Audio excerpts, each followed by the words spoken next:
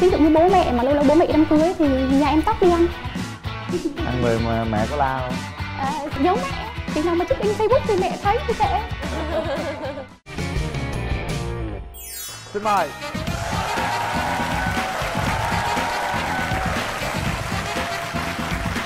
Chào cô. Cô chào Quỳnh Linh dạ, dạ mời cô chào ngồi cô. ạ. Chào chị. Mời em ngồi. À, hôm nay thì cô và em có thể giới thiệu về mình cho khán giả cùng biết ạ cô xin giới thiệu cô Phan là Thiều Anh năm nay 65 tuổi quê cô ở Hà Tĩnh. Cô sống hiện tại đang ở sống ở Buôn Ma Thuột. Cô làm nghề nội trợ. Ngồi trời À, và đây là con dâu cô. À, xin chào các anh mc quỳnh linh. Chào em. xin chào lê lộc. À, mình năm nay là 44 tuổi. À, là con dâu của mẹ được 20 gần gần 16 năm. Nghề chính của mình là làm nghề thợ may. dạ mình có mấy bé rồi chị hả? À, chị là hai bé. Bé năm nay là bé gái 15 tuổi. À, bé trai là 10 tuổi. Wow. mình ở đây hay là mình ở ngoài buôn mê mình thuột? ở buôn ma thuột. Buôn Mê Thuột luôn. Vậy thì hai mẹ con từ uh, Buôn Mê Thuột đến thành phố Hồ Chí Minh để tham gia chương trình. Cô lần đầu tiên cô gặp con dâu cô có ấn tượng điều gì? Khi mà con trai cô quen con dâu cô thì lúc đó nó còn đi học đại học. Mà gia đình cô thì cô cũng nghiêm khắc à, cho nên là nó cũng không dám nói gì cả. Đến khi nó học mà ra trường rồi nó mới nói với cô là con có quen một à, cô là như vậy như vậy. À, là cô đó cô làm nghề thợ may. Nhưng mà cô là lớn hơn con tuổi. Thì lúc đầu cô cũng phản ứng vì cô nói là à, con nên quay lại đi bởi vì à, bố là hơn mẹ 4 tuổi. Nhưng mà bây giờ bố còn trẻ hơn mẹ. Thế nên mẹ cô cũng lăn tăn cái chỗ đó thôi cô nói là sợ rồi sau này á mà đến khi à, người phụ nữ á thì nó cái tuổi xuân nó nhanh hết lắm. Chứ không phải nó dài được như người à, đàn ông. Cho nên là con lấy nó rồi liều sau này nó sao?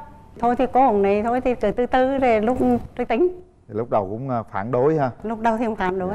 Nhưng mà sau đó thì về làm dâu đó cô có, có thấy sự phản đối của mình đúng hay là sai không? Nhưng mà đến khi mà nó sau nó xin cưới thì cô có nói với nó này nếu vậy thì con à, dẫn nó về đây để mẹ nói chuyện với nó. Thì à, con cô dẫn về thì cô cũng nói với con dâu cô là như cô nói với con trai vậy đó. Đó, vì mà hơn nữa nghề nghiệp cũng khác nhau. Ừ, con cô đi làm nhà nước, còn con dâu là làm thợ máy. Thì cô nói là liều sau này về thì cuộc sống vợ chồng có gì là nó hai bên nó nó cũng phù hợp. Vì như nói đi làm thì nhiều khi còn ờ, hay đi bạn bè rồi nhậu nhẹt mà con dâu nói thật thời buổi bây giờ thì đi làm thì giữa làm việc ờ, trong với ngoài là nhiều khi người ta cũng có cái mối giáo dung với nhau. Thôi thì liều con sau này mà là về ờ, vợ chồng thì con nếu con chấp nhận những cái điều mà sau này nó có cái gì ấy thì thì thì, thì mẹ mẹ con cưới. Mà nếu con này thôi thì con dâu nó đồng ý. 16 năm rồi yêu thương nhau 16 năm rồi vậy thì cái tuổi tác đâu quan trọng đâu cô ha? À, nhưng mà bây giờ thì không ai nói nó là nhiều tuổi hơn con trai cô hết á. Nó tệ hơn. Trẻ hơn chứ nãy nghe 44 tuổi giật mình á. Tưởng giới thiệu lộn 34 á chứ. Trẻ mà. Chị chỉ có nhớ cái ấn tượng lần đầu tiên khi chị gặp mẹ chồng của chị không?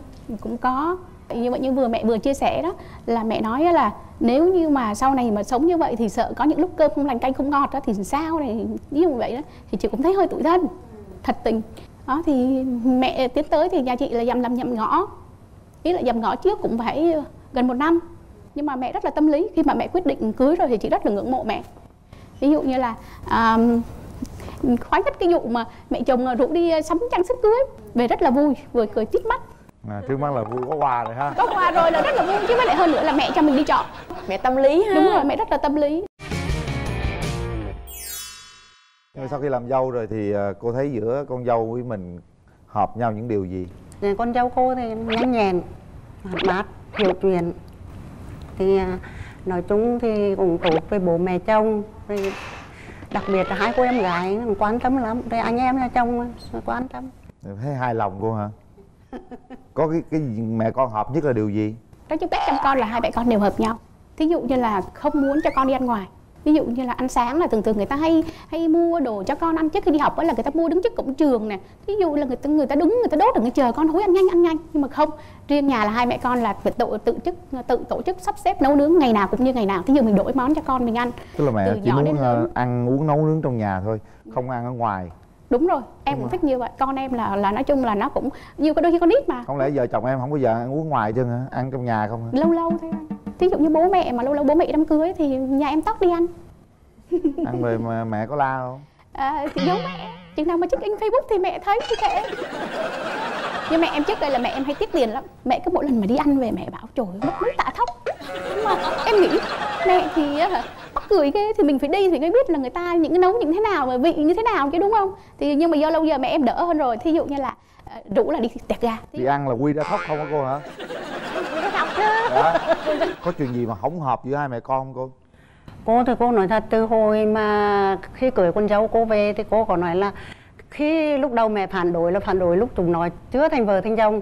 Nhưng mà đến khi về nhà cô nói thật từ hồi nó về đến giờ chưa bao giờ cô coi nó là con dâu hết á. Cô coi nó là con gái. Nhiều khi thậm chí con gái cô nó còn nói này là, mẹ thì thương chị hơn con. Có cái gì mẹ con cũng chia sẻ cùng tâm sự với nhau hết thì tất nhiên thì à, nói là nói vậy chứ không phải là hoàn toàn lúc nào cùng cùng ngày hết. À thì còn hồi mà con nó còn nhỏ thì có đôi khi nó mua sắm đồ cho con thì có đôi khi cô cũng cũng không hợp chỗ đó. Là cô phải có nói với nó nên nói sắm đồ cho con nó thích sắm này thọ- ờ, vì cô bảo này là giờ con nó đang nhỏ, mà giờ con cứ mua sắm cho nó nhiều mà nó sắm lại sắm đôi thuyền, thì nó mặc được vài lần thì nhiều khi lại bỏ. Cho nên lãng phí mà đồng tiền của vợ chồng con lo thì làm ra rất là vất vả. Còn như vậy thôi. Nhưng mà con gái, con dâu cô là suốt ngày đi làm ăn ngoài rồi, không có cơm nước trong nhà rồi ít có chăm sóc, ít có làm việc nhà cô, có thấy sao không? Không nó bận thì nó bận nhưng mà về nó vẫn tranh thủ làm. Có khi tối lại có khi là hai mẹ con giành nhau rồi chén. Vì cô thì cô nghĩ này là thôi nó đi làm ban ngày mà tối nó còn đem đồ về cắt á. Thì nhiều khi cô thấy tội thì cô muốn tranh nhưng mà nó bảo mẹ cứ để con rửa chứ con rửa tí là xong mà. Có rửa không hay là nói vậy thôi xong rồi để người khác rửa? Không nó Không, vẫn nhưng mà em làm gì cũng nhanh hết. Nó làm nhanh lắm. làm nhanh làm nhanh lắm. Cái- một buổi tối mà em có làm nhọn đủ thứ việc buổi sáng sớm mà em mà dậy một tí là xong nhưng mà mẹ phải mò cả ngày. Có khi nào em không làm em sai chồng em làm không có chứ anh? Mẹ em huấn luyện mà. Hồi xưa đây là là hồi trước đây á, là là là em là là là, nói chung cũng cũng không phải là chiều chồng, nhưng mà em thấy chồng em cứ ừ, được mẹ chiều quá rồi cũng chẳng biết làm gì hết. Nói chung không biết làm cái gì hết. Cái đi học lớn, hồi nhỏ thì nghe nói là mẹ em kể là siêng siêng năng biết làm đủ thứ. Nhưng mà khi mà lấy em về thì em thấy lười lười vừa lười vừa lười vừa bẩn là la không? Có chứ. Chuyện đó bình thường. Rồi chị la vậy là rõ hai hai vợ chồng có khi nào xích mích không? có chứ. Thì la phải xích mích chứ. Sao? Làm mà không xích mích được. Mẹ cũng biết luôn. Coi la trước mặt mẹ chồng luôn. Hên xui. Em Dạ. lại nếu đã làm đã còn chịu làm con của mẹ rồi thì mình đâu còn phải chịu kẻ trong nhà nữa đâu. Nhưng mà có điều là phải có nguyên nhân thì em mới la. Ví dụ như em đang ở dưới bếp thằng con trai nó lên nó mở tivi hết volume anh hét nó nó nghe chưa? Anh hét đi đừng có nói mà la anh hét nó đã nghe chưa? Kêu con giảm volume xuống. Hét một tai nó đã nghe chưa? Mà nó tức cái gì? Nó đừng như nó dùng như nó đang xem cái gì? Hoặc là nó tức quá thì nó nó tức quá thì nó nó mở to volume hoặc nó đang bực mình cái gì đó. Ví dụ như đang tức cái gì? Đập tivi ầm ầm. Em la lớn như vậy thậm chí la lớn hơn tivi nó mới nghe. Thì đúng rồi. Em có sợ là lúc đó mẹ chồng hay là cha chồng đó buồn không? Cũng có nhưng mà biết sao mẹ em chỉ nhìn thôi. Xong rồi nhìn nhiều không khi, vậy đó hả? Dạ, nhiều khi nó hư quá thì em lôi phòng em đánh. Thì mẹ em hỏi ra mà em hỏi nói chứ. Làm sao vậy ủa thì phải có nguyên nhân thì mới đánh chứ. Chứ tự nhiên em đâu có phải là hàm hồ mà em đánh cô- đâu. cô có buồn có gì? Ừ, lúc đầu thì cô cũng buồn vì à, nhưng mà sau thì cô thấy à, cũng phải hiểu. Nó la hoài cũng hết buồn luôn hả là một cái hai nữa là cô nghĩ này là mẹ già tay chồng thời nay là mình phải thoáng hơn hồi xưa. Cô nói thật nhiều khi thời xưa như vậy không được đâu. Nhưng mà giờ mình phải thoáng ấy. có khi nào cô nóng lên cô la con dâu không? Chưa bao giờ. Chưa bao giờ luôn. Lớn tiếng chưa?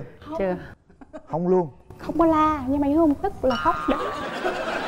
Nhưng mà là khóc gì chuyện gì?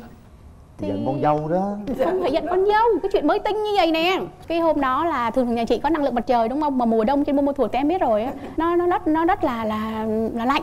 Mà chắc là cả ngày với lại chắc là hôm đó nhà chị nhà mình là chắc xài hết. Mà chị là hay chấm tắm đêm. Thường là đi làm về lui cu đủ thứ việc đó rồi phải tắm đêm. Thì vô hết nước. Mà khi mình chị bật sang cái máy máy nóng lạnh á bật cái máy sang cái máy nóng lạnh nó cũng, cũng làm sao á nó không được tức điên lên được. Thì chồng chị đi nấu nước nấu nước để tắm á nấu nước bằng cái, cái ấm siêu tốc á. Thì mẹ chị xuống mẹ chỉ hỏi là à, ủa ai cắm nước vậy? Kêu con cắm á con cắm mẹ tắm. Mẹ chị bảo chứ trời ơi xả không xả chịu chịu xả lâu lâu một chút xíu xả phải cỡ nửa rồi nó mới ra được nước nóng chứ cái bảo chứ? Ủa thì mẹ ra mẹ xả đi. Thì mình chỉ nói vào trong mình chị đi vào trong phòng chuẩn bị lấy đồ đi tắm. Thì lại chồng mình ngồi ngay đó lại làm bẩm chứ. Có vậy thôi mà mệt ghê. Thì chị nói vậy. Thế là tự nhiên chồng chị lại ngứa mồm. Lại ra lại bảo chứ. Ủa chứ mẹ có mỗi chuyện đó sao mẹ cứ cằn nhằn nhé trời trời. Chị chị chịu nổi không? Mẹ chị ngồi. Hu hu hu khóc. Nói như vậy thôi mà cũng là cằn nhằn cằn nhằn. Xong rồi chị sợ quá chị đóng cửa chị đi ngủ. Luôn bởi vì con trai nó nói thế cũng mới tuổi thân rồi căn nhăn bởi vì à nó con con trai nhiều hơn chứ không phải con rồi. dâu con À. con trai mà không binh mẹ à, không phải là không bên này có có có muốn con trai cô là phải phân minh rõ ràng. Mẹ đúng là đúng mẹ sai là phải anh mà lúc đó mà đóng vai bà mẹ chồng anh sẽ nói rằng nước năng lượng mặt trời không tắm với tắm nước này hao điện tốn tiền hàng chi tháng xa trước tao đóng quá trời tiền luôn. Để mình xem cái người thứ ba đó chồng em á. Thử coi có mâu thuẫn gì với hai mẹ chồng nàng dâu không nha hai người phụ nữ gần gũi và quan trọng nhất trong cuộc đời tôi. Là hai người rất là tuyệt vời. Nhưng à, cả hai người có một tính mà tôi rất sợ.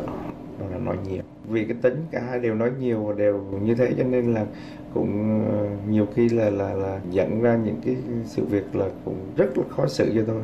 Thì ví dụ như vợ giận cái chuyện gì ở nhà, ở ngoài đường, rồi về nhà lại bắt đầu giận lây qua mọi người. À, một cách là vô cớ. Nhưng may mắn là được cái mẹ tôi cũng hiểu được cái tính của vợ, cho nên là nhiều khi cũng im lặng kệ. À, vài bữa rồi lại hết. Cũng có lúc hai mẹ và vợ giận nhau. Thì à, cái giải pháp của tôi là im lặng, không nói gì. Rồi từ từ mọi thứ nó sẽ qua. Cũng không bình ai cũng không có nói ai đúng ai sai. Nên tôi thấy cái giải pháp đó hiện. Cho đến bây giờ là vẫn hữu hiệu hôm nay à, cũng có những cái chia sẻ rất là thật lòng ha. À, vậy thì à, mẹ chồng có muốn nàng dâu thay đổi điều gì? Cô mong muốn của cô là chỉ mong là nếu mà có kiếp sau thì cô vẫn được làm con dâu à, mẹ chồng của con dâu cô. Chứ đổi ngược lại cũng mệt lắm á. Kiếp sau đổi ngược lại là mệt với cô này lắm á cô ở tư thế con dâu khác. Mà cổ tư thế mẹ chồng là là căng lắm à. Cô muốn được làm à, mẹ vẫn muốn được làm mẹ chồng của Dạ, con dâu mẹ cô. chồng thì được. Ờ, mẹ chồng của con dâu. Chứ cô là cá tính lắm mẹ chồng là cá tính dữ lắm luôn á. Thế em thì sợ rằng là sau này em có con trai. Thì em chắc chắn là em không tốt như mẹ rồi đó. Nếu em cũng thương thì có thể là thương. Đúng rồi. Nhưng mà không thể bằng biểu lộ bằng tính. cảm xúc Đúng rồi em Đúng nóng rồi. tính Là Cảm không thể được liền, ờ, nói như, liền. như của mẹ. Chị có mong muốn hay là có điều gì muốn nói với mẹ không? Có, ví dụ là mẹ thì nói chung là mẹ cái tính Nói chung tính em thì cũng không thích uh, giặt máy. Ví dụ như mẹ cũng vậy, đặc biệt là càng không. Nhưng mà em chỉ mong mà thí dụ như mùa lạnh á Sáng ngày ra chuẩn bị đi làm mà mùa, mùa trời mùa đông trên môn phục nó lạnh lắm. Nói là mẹ mẹ bỏ đồ máy giặt đi. Cứ thôi được. Mẹ ờ, cái gì á mẹ cứ cứ cứ giặt tay đi tí xíu giặt cái là tự nước con nó nó nó nó, nó, nó nóng lên. Cái chồng chị nghĩ bụng trời mình thì đâu có thể nhào vô giặt được từ đến giờ đến giờ mình phải đi làm rồi rồi cái xong rồi giờ chị muốn thay cho mẹ mà là ví dụ những ngày mà bận rộn quá này rồi ngày mùa đông giá bốt thì mẹ cũng đừng có ờ, có cái giặt giặt tay nữa. Mà mẹ mẹ bỏ vào máy mẹ giặt. Cô nghĩ thế này cho cô ở nhà trợ á, thì cô mình phải lao động đừng có làm việc quá sức chứ mà nhàn rồi quá cũng chán. Cô nói thật nhàn quá rồi là không biết đi đâu không biết làm gì thì coi tivi thì nằm nằm thôi là muốn ngủ. Cô nói thật là phát ốm ấy. Cho nên là làm có như mình tập thể có dục. lao động đúng không? Hôm nay thì à, cảm ơn cô với lại em đến tham gia chương trình à, những câu chuyện chia sẻ thế này à, cũng à, sẽ có những cái nhân vật nó nằm ở trong cái à, giống như giống như gia đình mình vậy họ sẽ rút kinh nghiệm hơn để hoàn thiện tốt hơn. Chúc hai mẹ con thật là vui vẻ hạnh phúc và thành công trong cuộc sống. Một à, kỷ niệm của chương trình gửi tặng gia đình. Để hôm nào mình xem tivi mình nhìn cái hình nhớ để tham gia chương trình ha. Dạ gửi tặng cô và em. Dạ con cũng có phần quà dành cho cô và chị dạ đây là nước yến đông trùng hạ thảo của thương hiệu Sinh Hy cảm ơn cô và chị đã đến với chương trình. Dạ. Dạ. À. Đó là câu chuyện đầu tiên trong ngày hôm nay. Còn bây giờ thì mời quý vị chúng ta sẽ đến câu chuyện thứ hai.